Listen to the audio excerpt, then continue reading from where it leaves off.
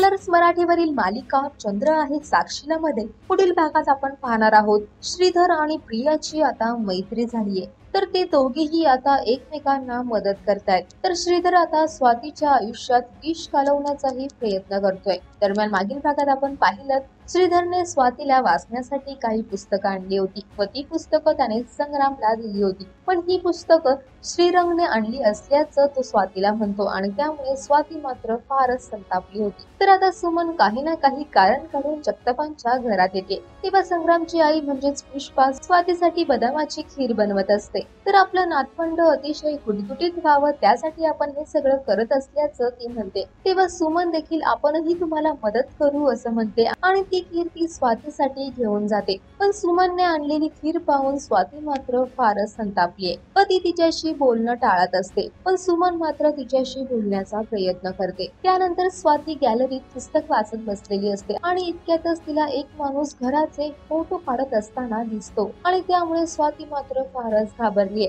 व ती त्या माणसाला आवाज देण्याचा प्रयत्न करते पण इतक्यातच तो पळून जातो. तर आता श्रीधर आणि प्रियाची मैत्री झाल्याने प्रिया मात्र संग्रामला परत मिळवण्यासाठी श्रीधरची मदत घेते. तर श्रीधरने आता प्रियाला सल्ला दिलाय. व स्वातीच्या पूर्व आयुष्याची माहिती काढ व तिच्या पूर्वीच्या बॉयफ्रेंडची देखील माहिती काढ असं त्याने प्रियाला म्हटलंय. तर दुसरीकडे स्वातीची या घरात होत असलेली पहापहा देखील थांबव असंही त्याने प्रियाला म्हटलंय आणि त्यानुसारच प्रिया संग्रामकडे जाते. व श्रीधर काळे विषयी ती संग्रामकडे विचारणा करते. पण हे सगळं ऐकून संग्राम मात्र तिच्यावर फारच संतापतो. तेव्हा आता संग्राम खरंच श्रीधरची माहिती काढणार का? व प्रियाला देखील श्रीधरचं सत्य समजणार का हे तर येणाऱ्या भागात स्पष्ट होईल. मराठी मालिकांच्या अशाच अपडेटसाठी टेली रिपोर्टर मराठीला सबस्क्राईब करा आणि तुमच्या प्रतिक्रिया कमेंट बॉक्समध्ये नक्की